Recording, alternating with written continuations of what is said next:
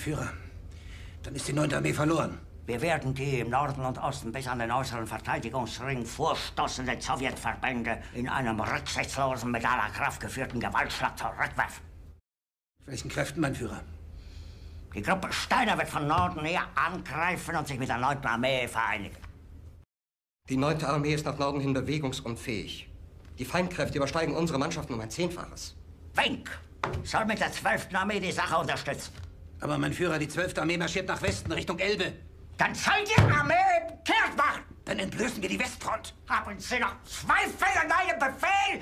Ich glaube, ich habe mich klar genug ausgedrückt.